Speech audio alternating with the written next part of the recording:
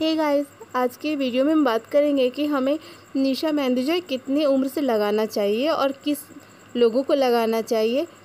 तो चलिए शुरू करते तो फ्रेंड अगर आपकी उम्र पंद्रह साल हो गए हैं, पंद्रह साल से ऊपर हो गए हो, तभी इसे आप लगाओ। और साथ ही साथ इसकी मेहंदी की खासियत ये है कि इसके बरगंडी पैक भी आते हैं। अगर आपके बाल सफ़ेद नहीं भी हुए हैं तो भी आप इसे यूज़ कर सकते हो, क्योंकि ये बिल्कुल हर्बल है। इसमें आंवला, रीठा सिकाकाई आप देख सकते हो कि बहुत सारा हर्बल प्रोडक्ट इसमें मिला हुआ है। ये आपके बालों को बिल्कुल नेचुरल ब्लैक करता है और बरगंडी भी करता है। इसका बरगंडी पैकेट भी आता है, इसे आप बरगंडी भी यूज़ कर सकते हो। तो इसे कैसे घोला जाता है फ्रेंड? तो देखिए, यहाँ पर मैंने सबसे पहले इसे निकाल लिया। निकालने के बाद फ्रेंड, लोग पूछते हैं कि गर्म पानी से घोलना है या फिर ठंडे पानी से घोलना है? तो मैं तो बिल्कुल बोलूँगी, ना ही ठंडे पानी में घोलना है, ना ही गर्म पानी में घोलना है।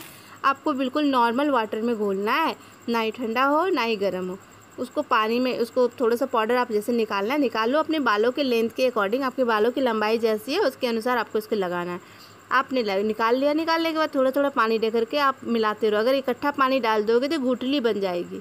तो यहाँ पर मैंने थोड़ा थोड़ा पानी दिया है और थोड़ा थोड़ा पानी दे करके आपको बिल्कुल इसे मिलाना है। मिलाने के बाद फ्रेंड, आप बालों को अच्छी तरह से वॉश कर लीजिए। जब बाल सूख जाए तो बिल्कुल जिस तरह से मैं यहाँ पर अप्लाई कर रही हूँ, बिल्कुल आपको भी उसी तरह से मेहंदी को अप्लाई करना है।